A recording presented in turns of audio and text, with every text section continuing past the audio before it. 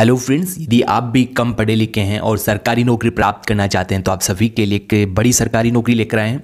ये जो सरकारी नौकरी है, ये सभी पाँच वाई पास वाले कैंडिडेट्स के लिए निकल के आई है।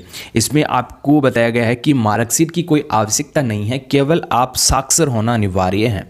यानी कि आपको देवनागरिक लिपि में आपको अपने सिग्नेचर वगैरह आना अनिवार्य है। और ये एक हाई कोर्ट की सीधी भर्ती प्रक्रिया है। अभी आपने देखा होगा कि आपके ज़िले में एक जिला से न्यायाधीश है डिस्ट्रिक्ट कोर्ट है। इसी से ये वैकेंसीज आपको मिल रही है। इसमें आपको वैकेंसीज मिल रही है, झाड़ूवाला की वैकेंसीज है, यानी कि झाड़ूवाला के पद पर यह भर्ती निकली है। दूसरी वैकेंसीज है पियोन चपरासी की ग्रुप डी की भर्ती निकली है।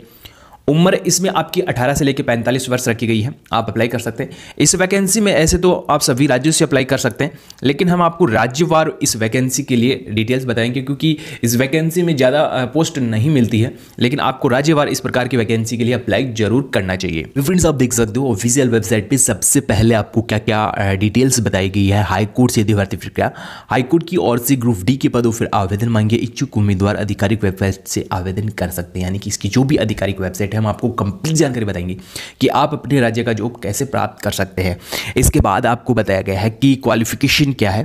तो सबसे पहले स्यूफर की जो वैकेंसीज थी झाड़ू वाले की जो वैकेंसीज थी, इसके लिए आपकी योग्यता हिंदी लिखने और बोलने का ज्ञान यदि है तो आप अप्लाई कर सकते हैं इस भर्ती में फॉर्म क्या बताया गया है? हिंदी लिखने और बोलने का ज्ञान है, आप अप्लाई कर सकते हैं। इसके साथ आपकी नेक्स्ट वैकेंसी से प्रोसेसर सर्वर की है, इसके लिए आपकी टेंथ पास योग्यता रखी गई है।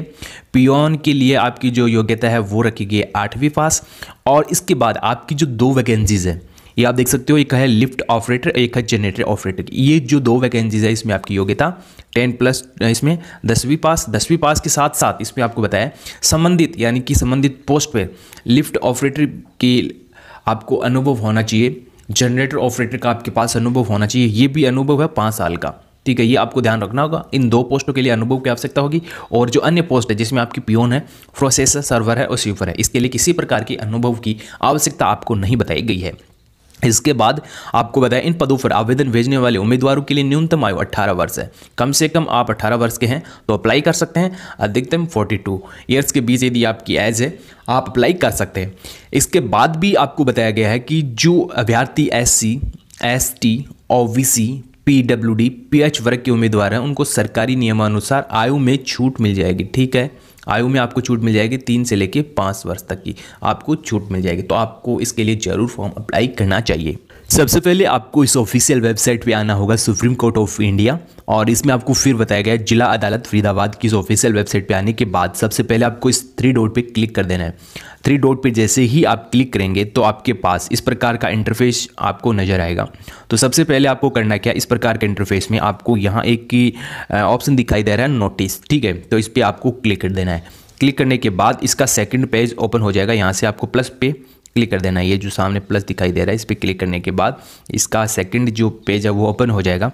और यहाँ आपको एक रिक्रूटमेंट का सेशन दिखाई दे रहा है। इस रिक्रूटमेंट के सेशन पे आपको क्लिक कर देना है। क्लिक करने के बाद इसका जो थर्ड पेज है, वो ओपन हो जाएगा और यहाँ आपको एक वैकेंसी डिटेल्स मिल जाएगी। रिगार्डिंग वैकेंसीज आपको बताइए। Processor server Fionn super lift operator generator operator की वैकेंसीज है। आप इनके लिए अप्लाई कर सकते हैं।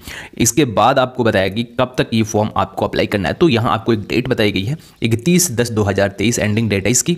और पाँच अक्टूबर से फॉर्म स्टार्ट हो गया था और यदि आप इस रिक्रूटमेंट का नोटिफिकेशन डाउनलोड करना चाहते हैं, अधिक जानकारी प्राप्त करना चाहते हैं तो यहाँ व्यू पे आपको क्लिक कर देना, यहाँ से आप डाउनलोड कर सकते हैं। ये पीडीएफ है तो पीडीएफ डाउनलोड कर सकते हैं। मिलते हैं नेक्स्ट वीडियो में, ऐसे ही लेटेज के साथ। तब तक ले जय हिंद, जय